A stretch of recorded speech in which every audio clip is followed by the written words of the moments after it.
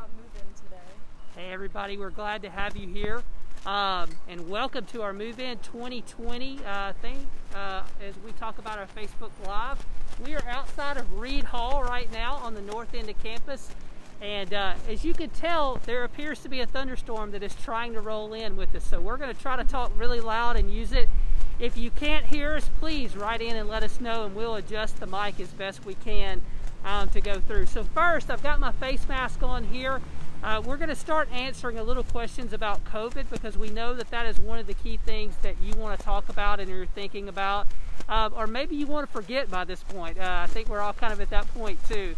Uh, but how that's going to affect Move In 2020 specifically and, and, look a little different. So first of all, I got the face covering here. Um, you have to wear your face covering as you come to campus. It is a requirement from not only the state but campus as well. So we're excited, you know, that you're going to have that. We're also going to give you some PPE uh, equipment when you arrive. Um, so hopefully that will be here in the next couple weeks for sure to have that in your room. But bring a face covering with you to go. Um, you'll probably see me pulling on this a little bit to go when I talk really loudly so you guys can hear me. It kind of slides down a little bit and it's extremely windy. So we're going to work with it out here. Um, remember a couple things just like you were if you were anywhere else, social distancing as best that you can. Stay six feet apart, wear your mask. Same message you would hear out in the public, but we want you to be smart when you come to campus as well. Um, once you get inside the building for your elevators, uh, we do ask on for move-in day that you limit the elevators to just you and your immediate family um, to go through. That way we can do, as you come back down, please take stairs as much as you can. If you have a situation you can't take stairs, we'll certainly accommodate you with that request. But if you can take the stairs uh, back down, leave the, the families coming up in the elevator, we'd appreciate that. Um, one thing that we have asked to do on move in that's a little bit different, this is probably our biggest change with COVID 19 in the past. You pulled up in a parking lot, we've given you 30 minutes to unload your vehicle. Um, we've had some volunteers from the community, from school, different things that would help. This year, because of COVID, um, we're trying to obviously enter, enter, you know, stop the interactions a little bit like we normally would. So we will not have volunteers helping you move your items in your room um, this year. However, um, because of that, we're expanding the time frame that you have within the parking lot from 30 minutes to 45 minutes. So let's just say we're in Reed, we turn into our parking lot here. There will be staff members wearing vests like I have on that will greet you, welcome you into the parking lot. Um, as you come through, you'll park. You can see, just like we have here at Reed's, you're really close to the front entrance of the building. So in all of our buildings, we're getting you as close as we possibly can um, to the buildings. On move-in day, you'll have 45 minutes to unload your car, take your items up to your room, and then at the end of the 45 minutes, we're going to talk about arrival passes in a second with some great information there, but you'll move your car at the end of the 45 minute session uh, for there. And then we also ask that you bring only two people with you to move in again to help with social distancing, to help with crowds, to help with elevators, just truly common sense items that you would know. Um, we've gotten a few questions about what if I have a minor with me that, um, you know, it's maybe a brother or sister who can't, um, I don't have anywhere to leave them, can I bring them? Um, we just ask if it's possible, only two people in the building at the same time, if you can, if you can do that with possibility, and if you have a minor, hey, be smart. They need to wear a face mask, use hand sanitizer, wash their hands, same things you would hear at any other location um, to go through. But that's kind of what it looks like differently with COVID 19 as we go through our move in process um, this year. This is a pretty obvious reminder, but please don't bring pets to move in day with you um, for a couple reasons. One, you can't take them inside the building. Second of all, it's hot in the vehicles, and we don't want you to have to leave your pet in the vehicle, in the car, while you're moving your stuff in. So please don't do that. Uh, please don't bring your pets with you to move in.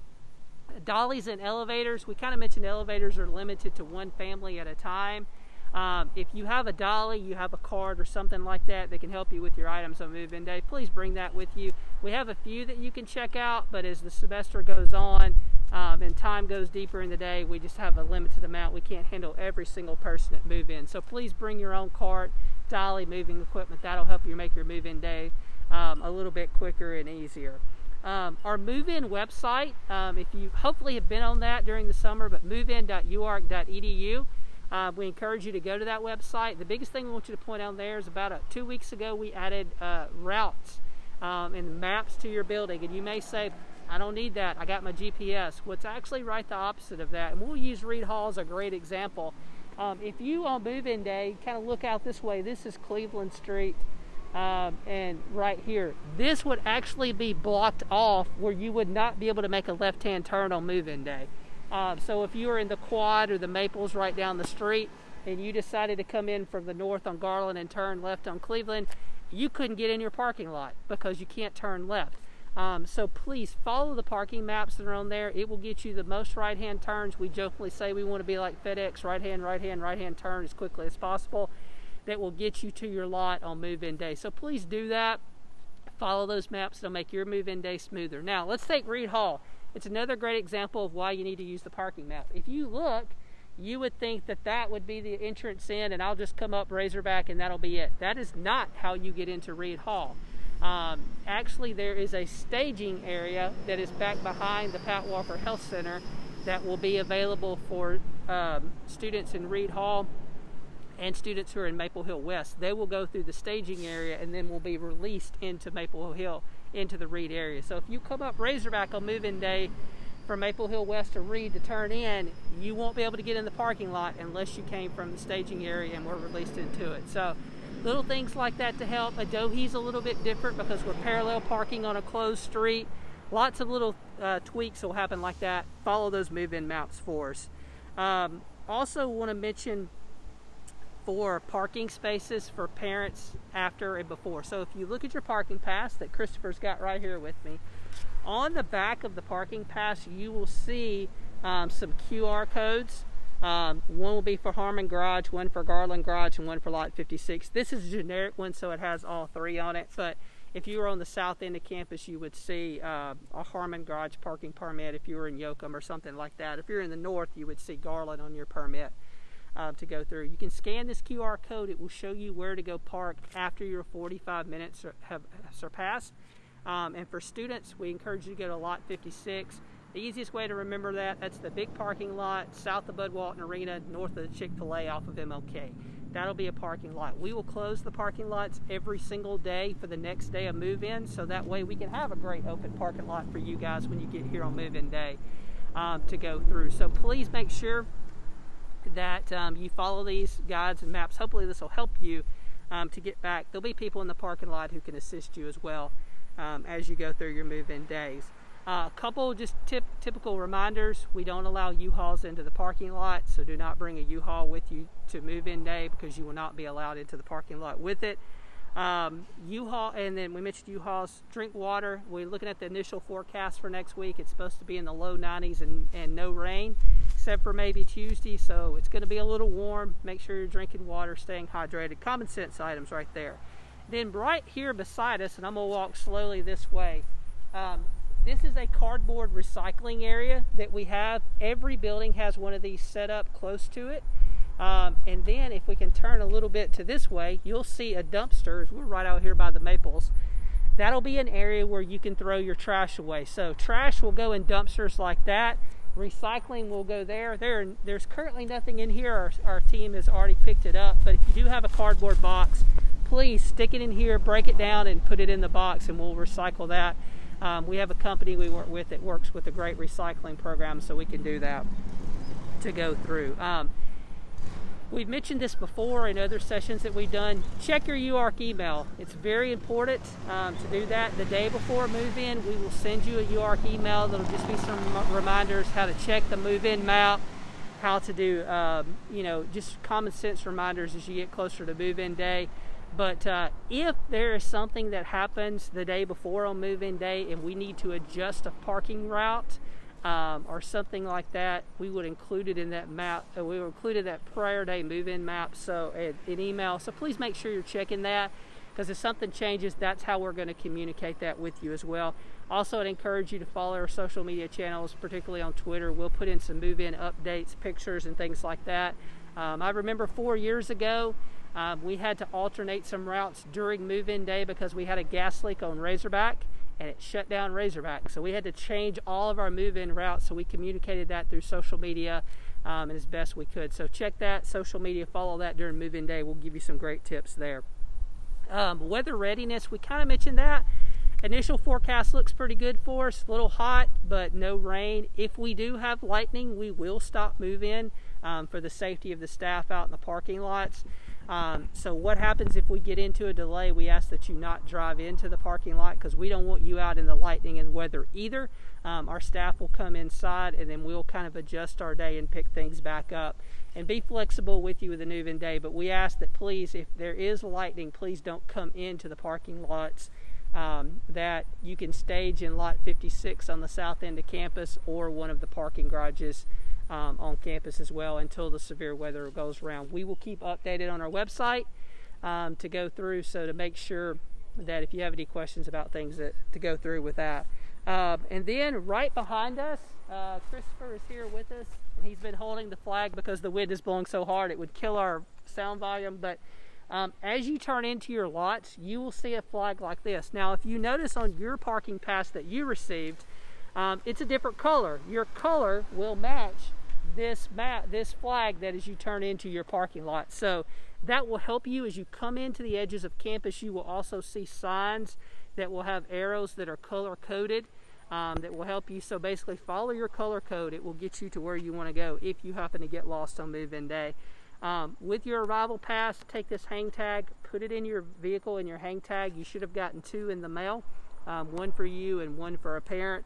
If the phone number on the bottom of yours is incorrect, um, please just print that in for us. That would be super helpful um, to go through.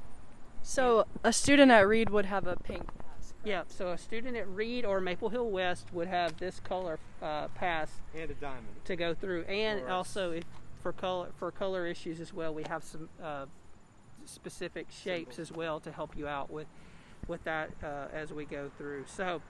Uh, check those flags, check those colors as you're coming to campus and follow the maps. If you follow your move-in maps, you'll get in very quickly. It'll be really, really efficient for you and very quick as you get into the parking lot to go. And remember, you'll have 45 minutes to unload your cars. That doesn't mean you have 45 minutes in your room. That just means you have 45 minutes to unload and take things to your room and we jokingly say you can stay in your room as long until the student until your student kicks you out. So if you're a parent watching that until the the student tells you to go, uh, you can stay in the room as, as long as you would like with your student.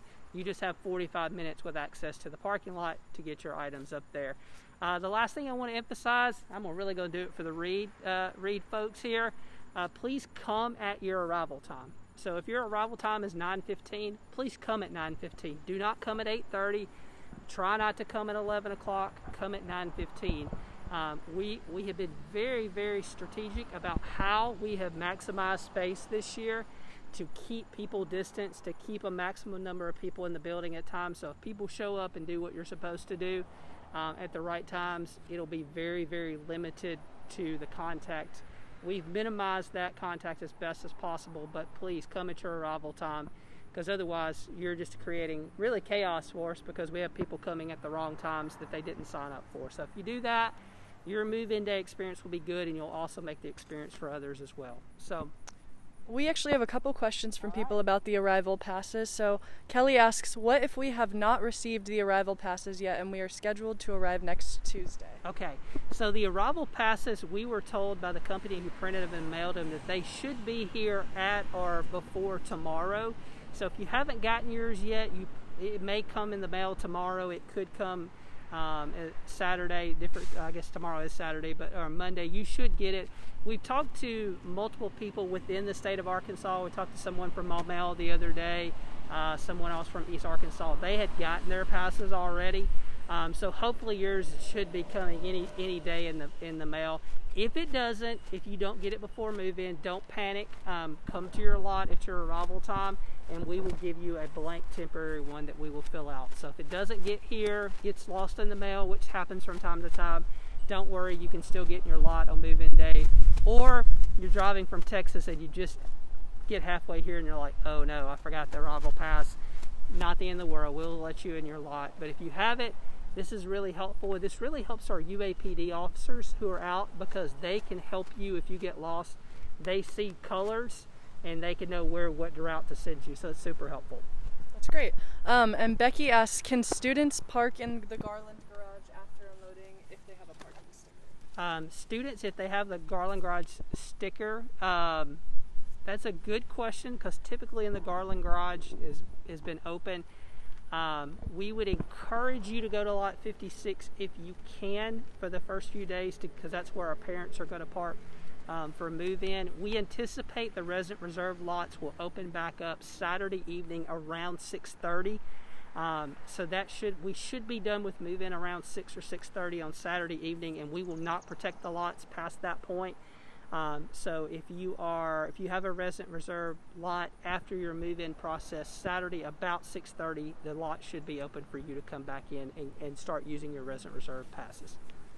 Great. Um, I think that's it for the questions. Did you have any closing thoughts? So hey, we're excited to have you here. Um, you know, our masks may be falling down and things might be a little bit different this year um, as we move in. But we're excited to have you here. You know, with classes, sometimes some of your classes may be online, some different things. One great thing that's great about it is you still get to have the community experience in housing, and we're so excited to have you here. We have spent the entire summer walking through many, many planning station, stations and different things as we prepare for move in. Um, and so we're excited to have you here and we look forward to it. Follow those parking maps and, and uh, you and bring your arrival pass and show up at your time and you will have a great experience on move in day. And we're excited to see you. All right. Well, thank you, Billy. Uh, you want to give us a wave? All right. Bye, guys. Bye.